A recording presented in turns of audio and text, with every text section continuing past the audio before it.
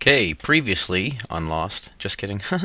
we um, we removed the logos from this tire in preparation to send it up to uh, iStock Photo. Now um, I'm going to go ahead and take off the markings on this electrical box and for the same reason just I don't think that it's going to be an issue or would be an issue as far as um, being a royalty free stock image I just think that uh, it's better safe than sorry. I don't think they add anything to the image, and I'm going to get rid of it. So I'm going to grab my lasso tool, grab a square down here, and make sure we're on the background layer, and I am going to press Control J. This is going to duplicate that selection onto its own layer from the background layer. I'm going to go Control T to bring up the free transform tool, and let's see, right click on that and flip horizontal. That doesn't work. We're going to control Z out of that. Maybe just pull it a little bit.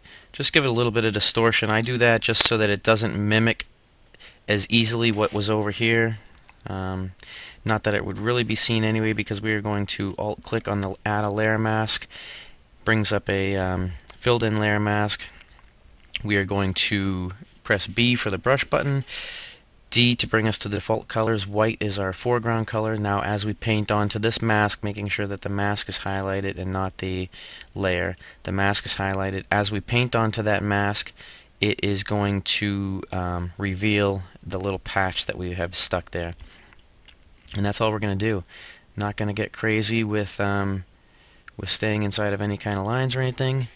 It was close enough to the area that we are painting over onto so that um, our tones and whatnot are close enough so you can't see it.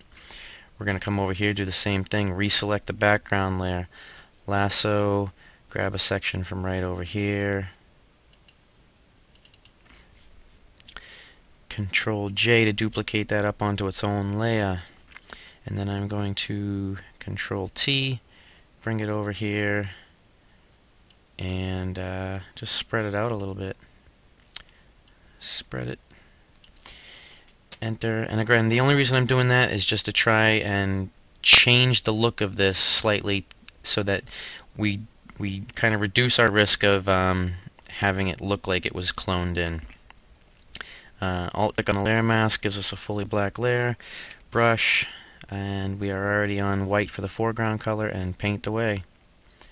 And just a nice big soft edge brush just where we need it. Bam, done. Control minus to back out. And if I shut these two layers off, click on the eyeball and then drag down, it shuts off every single one that we go across. And that's what we have. And same thing going back up, it lets us uh, see what we've done. So now I've removed those. And that's it. It's almost ready to go up uh, to iStock.